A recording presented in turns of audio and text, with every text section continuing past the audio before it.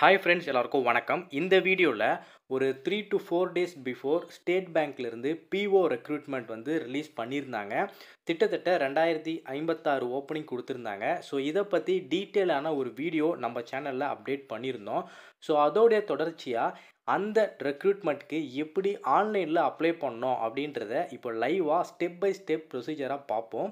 So இந்த வீடியோவை பார்த்துட்டு கண்டிப்பாக எல்லாருமே அப்ளை பண்ணுங்கள் ஸோ கண்டிப்பாக ட்ரை பண்ணுங்கள் இந்த எக்ஸாமுக்கு இந்த எஸ்பிஐ பிஓக்கு எப்படி டெஸ்ட் இருக்கும்? அதாவது எக்ஸாம் பேட்டர்ன் எப்படி இருக்கும்? அது டஃப்னஸ் எப்படி இருக்கும்? அப்படின்றத நீங்கள் தெரிஞ்சிக்க இந்த ஃப்ரீயாக மாக் டெஸ்ட்டை நீங்கள் எழுதி பார்க்கலாம்.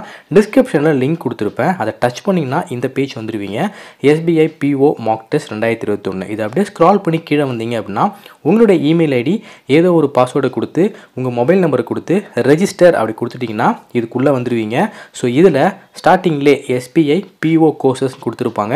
அதை அப்படியே ஸ்க்ரால் பண்ணி கீழே வந்தீங்க அப்படின்னா எஸ்பிஐ பிஓ ரிசோர்ஸஸில் எஸ்பிஐ பிஓ மாக் டெஸ்ட் அப்படின்னு இருக்கும். ஸோ ப்ரிலிம்ஸ் மெயின்ஸ் எல்லாத்துக்கான மாக் டெஸ்ட்டும் கொடுத்துருப்பாங்க. ஸோ அந்த ப்ரிலிம்ஸ்க்கான மாக் டெஸ்ட்டை நீங்கள் கிளிக் பண்ணீங்க அப்படின்னா டேக் டெஸ்ட் அப்படின்னு இருக்கா? ஸோ டோட்டலாக நூறு கொஷின் நூறு மார்க் ஒன் ஹவர் இந்த டேக் டெஸ்ட்டை கிளிக் பண்ணி நீங்கள் இந்த டெஸ்ட்டை எழுதி பார்க்கலாம். சிலபஸ் படி பேட்டர்ன் படி உங்களுக்கு கொஷின்ஸ் இருக்கும். நாலு ஆப்ஷன் அப்ஜெக்டிவ் டைப்பில் தான் இருக்கும். ஸோ கண்டிப்பாக இந்த ஃப்ரீ மாக் டெஸ்ட்டை எழுதி பாருங்கள் லிங்க் டிஸ்கிரிப்ஷனில் கொடுத்துருக்கேன். ஓகே இப்போது அப்ளை பண்ணுற லிங்க்கும் டிஸ்கிரிப்ஷனில் கொடுத்துருக்கேன். ஸோ டச் பண்ணிங்கன்னா இந்த பேஜ் வந்துடுவீங்க இது நம்மளுடைய அஃபிஷியல் வெப்சைட் தான். இதை அப்படியே ஸ்க்ரால் பண்ணி கீழே வந்தீங்க அப்படின்னா நோட்டிஃபிகேஷன் லிங்க்கும் கொடுத்துருப்போம் அண்ட் அப்ளை லிங்க்கும் கொடுத்துருப்போம். ஸோ நம்ம அப்ளை பண்ணுறதுக்கு அந்த அப்ளை லிங்க்கில் கிளிக் இயர் அப்படி இருக்கா? அதை கிளிக் பண்ணீங்க அப்படின்னா இந்த பேஜ்க்கு நீங்கள் வந்துடுவீங்க எஸ்பிஐ பிஓ அந்த அப்ளை பண்ணக்கூடிய அஃபிஷியல் சைட்டுக்கு வந்துடுவீங்க இதில் அப்ளை பண்ணக்கூடிய டேட் ஸ்டார்ட் ஆகிடுச்சு அஞ்சு பத்து ரெண்டாயிரத்தி இருபத்தி ஒன்றுலேருந்து இருபத்தஞ்சி பத்து ரெண்டாயிரத்தி இருபத்தொன்று வரைக்கும் நீங்கள் அப்ளை பண்ணிக்கலாம். ஸோ மேலே ரைட் சைடில் எல்லோ கலரில் click here for new registration இருக்கா? ஸோ அதை கிளிக் பண்ணிக்கோங்க. அதை கிளிக் பண்ணிங்கன்னா இந்த பேஜ் வந்துடுவீங்க இதில் basic info photo signature DTL preview upload payment சொல்லிட்டு ஆறு ஸ்டேஜ் இருக்குது இதில் ஃபஸ்ட் ஸ்டேஜ் வந்து பேசிக் இன்ஃபோ ஸோ இந்த பேசிக் இன்ஃபோவில் என்ன தரணும் அப்படின்னா இதில் உங்களுடைய நேம் கொடுத்துக்கோங்க. அதாவது உங்களுடைய மார்க் ஷீட் சர்டிஃபிகேட்டில் என்ன இருக்கோ அதுபடி உங்களுடைய ஃபஸ்ட் நேம் கொடுத்துக்கோங்க. அது கீழே கன்ஃபார்ம் ஃபஸ்ட் நேம் கொடுத்துக்கோங்க. அண்ட் அப்படியே அது கொடுத்துட்டிங்கன்னா கீழே உங்களுடைய ஃபுல் நேம் வந்துடும் லாஸ்ட் நேம் இருந்தால் கொடுத்துக்கோங்க. இல்லைனா தேவையில்லை. சர்டிஃபிகேட்டில் எப்படி இருக்கோ அதுபடி கொடுத்துக்கோங்க. அண்ட் அது கீழே உங்களுடைய மொபைல் நம்பர் மொபைல் நம்பர் கொடுத்துட்டு அந்த மொபைல் நம்பரை கன்ஃபார்ம் பண்ணிக்கோங்க. தென் அது கீழே இமெயில் ஐடி கொடுத்துட்டு ரைட் சைடில் டொமைன் நேமை சூஸ் பண்ணிக்கோங்க. என்னோட இது ஜிமெயில்னா ஜிமெயில் கொடுத்துட்டேன். ஸோ உங்களுக்கு சூஸ் பண்ணிக்கோங்க. அது கீழே கன்ஃபார்ம் இமெயில் ஐடி கொடுத்துக்கோங்க. அது கீழே செக்யூரிட்டி கோடை கொடுத்துட்டு சேவ் நெக்ஸ்ட் அப்படி இருக்கா? அதை கிளிக் பண்ணிங்கன்னா இந்த பேஜ் வந்துடுவீங்க ஸோ இதில் உங்களுடைய ரெஜிஸ்ட்ரேஷன் நம்பர் பாஸ்வேர்டு எல்லாமே வந்துடும் உங்கள் மொபைலுக்கும் வந்துடும் இதில் ஃபோட்டோ சிக்னேச்சர் தான் அப்லோட் பண்ணோம் so photo and signature upload பண்ணிவிட்டு நெக்ஸ்ட் கொடுக்கலாம்.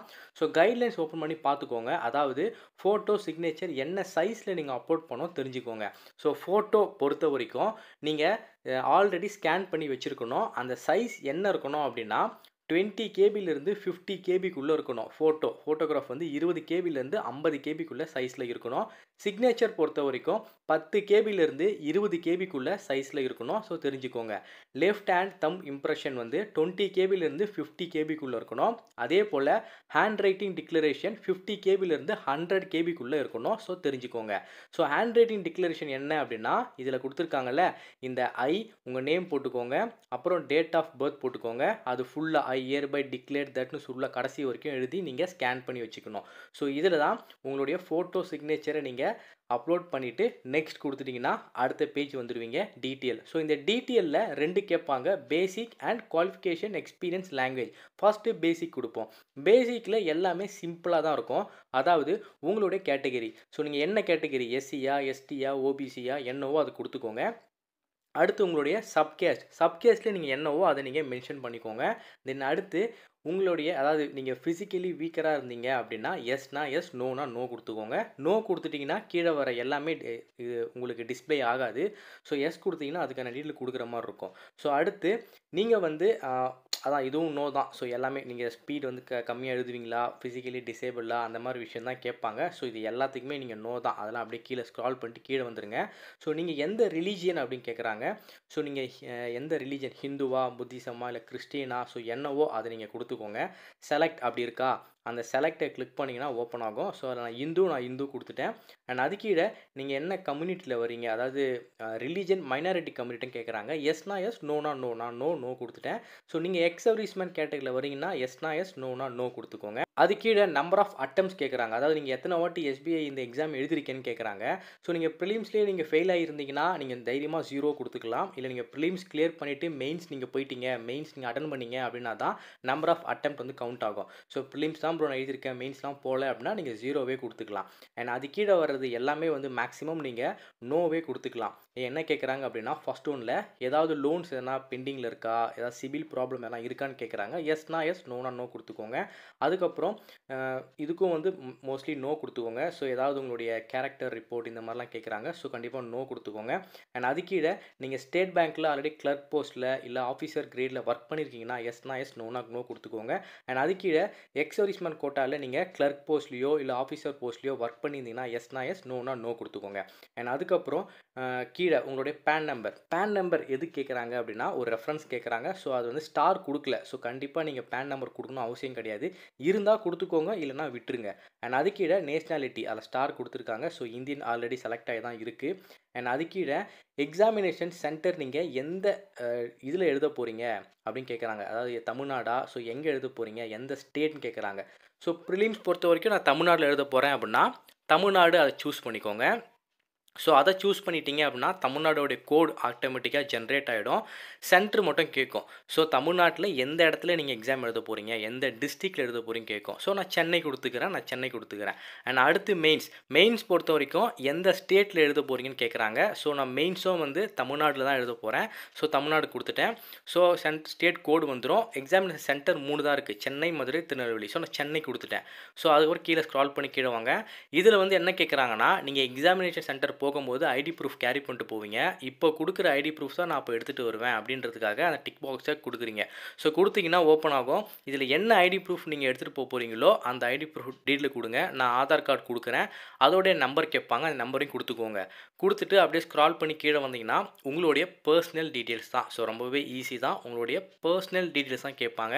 உங்களுடைய date of birth date month year wise கரெக்டாக நீங்கள் கேல்குலேட் பண்ணி போடுங்க. அது கீழே உங்களோட ஏஜ் ஆட்டோமேட்டிக்காக வந்துடும் அண்ட் அது கீழே உங்களுடைய ஜெண்டர் ஸோ ஜெண்டர் வந்து நீங்கள் மேலா ஃபீமேலா இல்லை அதர்ஸ் டிரான்ஸ்ஜெண்டராக இருந்தீங்கன்னா அந்த டீட்டெயில் ஸோ அதை கொடுத்துக்கோங்க. அது கீழே நீங்கள் ட்வின் பிரதர் ஆர் சிஸ்டர் இருக்காங்களா? எஸ்னா எஸ் நோனா நோ கொடுத்துக்கோங்க. அண்ட் ட்வின் பிரதரோட நேம் எல்லாம் கேட்குறாங்க ஸோ நோ கொடுத்துட்டிங்கன்னா அதெல்லாம் வராது. ஸோ மேரிட்டல் ஸ்டேட்டஸ் நீங்கள் மேரிடா அன்மேரிடா விடோவா இல்லை டிவோர்ஸா என்னவோ கேட்குறாங்க ஸோ நான் அன்மேரிட் அன்மேரிட் கொடுத்துட்டேன். அது கீழே உங்களுடைய ஃபாதர் ஃபர்ஸ்ட் நேம் ஸோ ஃபாதரோடைய ஃபர்ஸ்ட் நேம் அப்புறம் லாஸ்ட் நேம் இருந்தால் கொடுத்துக்கோங்க இல்லைனா வேணாம். ஃபஸ்ட் நேம் மட்டும் கொடுத்துக்கோங்க. And மதரோடைய first name and last name வந்து அப்பாவுடைய நேம் தான் மோஸ்ட்லி இருக்கும். ஸோ லாஸ்ட் நேமும் கொடுத்துக்கோங்க. அண்ட் அதுக்கு இல்லை ஸ்பவுஸ் ஃபஸ்ட் நேம் அதாவது நீங்கள் மேரிட்னா உங்களுடைய கணவன் நேமோ இல்லை மனைவி நேமோ கொடுக்குற மாதிரி இருக்கும். ஸோ நீங்கள் அன்மேரிட்னால இதெல்லாம் ஓப்பன் ஆகாது. அதை அப்படியே விட்டுருங்க. அண்ட் அது கீழே உங்களுடைய கரஸ்பாண்டன்ஸ் அட்ரஸ் ஸோ இப்போ நீங்கள் இருக்க அட்ரஸ் என்னவோ அதை நீங்கள் கொடுத்துக்கோங்க. So district wise state pincode எல்லாமே கொடுத்துக்கோங்க. ஸோ உங்களுடைய கரஸ்பாண்ட் சேம் கீழே பர்மனண்ட் அட்ரஸ் எல்லாமே சேம் அப்படின்னா அந்த டிக் பாக்ஸை டிக் பண்ணிக்கோங்க. பர்மனண்ட் அட்ரஸும் வந்து மேலே நீங்கள் கொடுத்த அட்ரஸே வந்து அதில் வந்துடும் ஸோ நான் எதுவும் இல்லை என்டர் பண்ணி காட்டில் நீங்கள் கொடுத்துக்கோங்க. ஏன்னா அது கீழே choose the address for GST invoice so என்ன அட்ரஸ் நீங்கள் கொடுக்கணுமோ கொடுத்துக்கோங்க. நான் கரஸ்பாண்ட் அட்ரஸே கொடுத்துக்கிறேன். ஸோ அப்ளிகேஷன் ஃபீஸ் அமௌண்ட் காட்டுது. ஓபிசிக்கு எழுநூற்றி ஐம்பது ரூபான்னு காட்டுது. ஸோ அப்புறம் சேவ் நெக்ஸ்ட் அதை கொடுத்துக்கோங்க. அதை கொடுத்தீங்கன்னா இந்த பேஜ் வந்துடும் இதில் குவாலிஃபிகேஷன் எக்ஸ்பீரியன்ஸ் லாங்குவேஜ் மட்டும் என்ட்ரு பண்ணுற மாதிரி இருக்கும். ஸோ நான் முன்ன சொன்ன மாதிரியே இந்த எக்ஸாமுக்கு final year candidate also apply பண்ணலாம் சொல்லியிருந்தேன். ஸோ நீங்கள் அப்பியர்டு கொடுத்தீங்க அப்படின்னா முப்பத்தொன்று பன்னெண்டு ரெண்டாயிரத்தி இருபத்தொன்னுக்குள்ளே நீங்கள் காலேஜ் முடித்தவங்களாம் இருக்கணும். ஸோ ரிசல்ட் வரலாலும் பரவாயில்ல. மார்க் ஷீட் இல்லைனாலும் பரவாயில்ல. நீங்கள் அப்ளை பண்ணிக்கலாம். ஜஸ்ட் உங்களுடைய டிகிரி என்ன டிகிரி எந்த institute and place of institute கொடுத்துட்டு அப்புறம் உங்களுடைய அவள் தான் அப்படியே விட்டுடலாம். ஸோ வேறு எதுவும் போட தேவையில்ல. ஸோ நீங்கள் பாஸ்ட் நீங்கள் முடிச்சிட்டிங்க அப்படின்னா நீங்கள் என்ன டிகிரி முடிச்சிருக்கீங்க. அப்புறம் எந்த இன்ஸ்டியூட்டு பிளேஸ் ஆஃப் இன்ஸ்டியூட்டு எந்த இயர் பாஸ் பண்ணீங்க. டேட்டு மந்த்து இயரு அப்புறம் உங்களுடைய பர்சன்டேஜ் எவ்வளோ எடுத்தீங்க. அப்புறம் என்ன கிரேட் அதாவது ஃபஸ்ட் கிளாஸில் முடிச்சிங்களா செகண்ட் கிளாஸில் முடிச்சிங்களா அப்படின்ற டீட்டெயிலாம் நீங்கள் கொடுக்குற மாதிரி இருக்கும். ஸோ இது வந்து நீங்கள் ஃபைனல் இயர் பண்ணிகிட்டு இருக்கோங்க எக்ஸாம் முடிச்சிட்டிங்க இல்லை எக்ஸாம் எழுத போகிறீங்க ஆனால் ரிசல்ட் இன்னும் வரல மார்க் ஷீட் இல்லைன்ற கூட தாராளமாக அப்ளை பண்ணலாம். ஸோ அதே போல் தான் ஸ்க்ரால் பண்ணி கீழே வந்தீங்கன்னா போஸ்ட் கிராஜுவேஷன் அதாவது எம்பிஓ இல்லை எம்டெக்கு இல்லை ஏதாவது எம்காம் முடிச்சிருந்தீங்கன்னா இதுக்கும் சேம் ஃபார்மேட் தான். அதே ஃபார்மேட்டில் நீங்கள் கொடுத்துக்கோங்க. அப்படியே ஸ்க்ரால் பண்ணி கீழே வந்தீங்கன்னா நீங்கள் எஸ்சி எஸ்டி கேட்டகரியில் இருந்தீங்கன்னா ப்ரீ எக்ஸாம் ட்ரைனிங் கொடுப்பாங்க. நான் ஓபிசி கேட்டகரியில் இருக்கிறதுனால எனக்கு இது டிஸ்ப்ளே ஆகாது. ஸோ அதுக்கப்புறம் கீழே உங்களோட லாங்குவேஜ் என்ன தெரியுமோ அதை கொடுத்துட்டு சேவ் நெக்ஸ்ட் கொடுத்தீங்கன்னா உங்களோட அப்ளிகேஷன் ஓப்பன் ஆகிடும் ஸோ இதை அப்படியே ஸ்க்ரால் பண்ணி கீழே வந்தீங்கன்னா ஃபோட்டோவை கன்ஃபார்ம் பண்ணிக்கோங்க. ஒரு டிக் பாக்ஸ் மாதிரி காமிக்கும். அது நீங்கள் தான் அப்படி கன்ஃபார்ம் பண்ணிக்கோங்க. அப்படியே ஸ்க்ரால் பண்ணி கீழே வந்தீங்கன்னா ரைட் லெஃப்ட் சைடில் ஐ அக்ரி இருக்கா? அதை கிளிக் பண்ணிக்கோங்க. அது கீழே நான் இந்த அப்ளிகேஷனில் கொடுத்த ஐடி ப்ரூஃபை தான் நான் எக்ஸாம் சென்டருக்கும் எடுத்துகிட்டு வருவேன் அப்படின்றதுக்காக டிக் கொடுத்துக்கோங்க. அப்படி இல்லை நான் வேறு ஐடி ப்ரூஃப் கொண்டு வருவேன்னா மூணாவது ஆப்ஷனை டிக் பண்ணிக்கணும். ஸோ இல்லை நான் சேம் தான் கொண்டு வருவேன்னா ரெண்டாவது ஆப்ஷன் டிக் பண்ணிக்கோங்க. பண்ணிவிட்டு ரைட் சைடில் சிக்னேச்சர் பக்கத்தில் இருக்க அதையும் கன்ஃபார்ம் பண்ணிக்கோங்க. டிக் பாக்ஸ் கொடுத்து தென் கம்ப்ளீட் ரெஜிஸ்ட்ரேஷன் அதை கிளிக் பண்ணிக்கோங்க. கிளிக் பண்ணீங்க அப்படின்னா அடுத்து ஹேண்ட் ரைட்டிங் டிக்ளரேஷன் அண்ட் உங்களுடைய லெஃப்ட் தம் இம்ப்ரெஷன் அதை நீங்கள் அப்லோட் பண்ண சொல்லும். ஸோ ஆல்ரெடி நான் ஃபார்மேட் சொல்லிட்டேன் என்ன சைஸ்னு சொல்லிட்டேன். ஸோ அதை நீங்கள் அப்லோட் பண்ணிவிட்டு செக்யூரிட்டி கோட் அதை நீங்கள் கொடுத்துட்டு சேவ் நெக்ஸ்ட்டு கொடுத்துட்டிங்கன்னா இந்த பேஜ் வந்துடும் ஸோ இந்த பேஜில் எவ்வளோ அமௌண்ட்டுன்னு காமிக்குது. ஸோ இதில் செக்யூரிட்டி கோடை கொடுத்துட்டு சப்மிட் அப்படின்னு கொடுத்துட்டிங்கன்னா பேமெண்ட் போர்ட்டலுக்கு உங்களை கொண்டு போயிடும். ஸோ பேமெண்ட் போர்ட்டல் பொறுத்த வரைக்கும் நீங்கள் டெபிட் கார்டு யூஸ் பண்ணி பே பண்ணிக்கலாம் கிரெடிட் கார்டு யூஸ் பண்ணி பே பண்ணிக்கலாம் இல்லை யூபிஐ கூகுள் பே ஃபோன்பே எதை வேணாலும் நீங்கள் யூஸ் பண்ணி பே பண்ணிக்கலாம். ஸோ இவ்வளோ தான் ரொம்பவே சிம்பிள் மெத்தட் தான். கண்டிப்பாக எல்லாருமே ட்ரை பண்ணுங்கள் உங்கள் ஃப்ரெண்ட்ஸ் ரிலேட்டிவ்ஸ் எல்லாருக்குமே சொல்லுங்கள் அப்ளை பண்ண தெரியல அப்படின்னா நீங்கள் அப்ளை பண்ணி கொடுங்க. ஸோ கண்டிப்பாக எல்லாருமே ட்ரை பண்ணுங்கள் நன்றி வணக்கம்.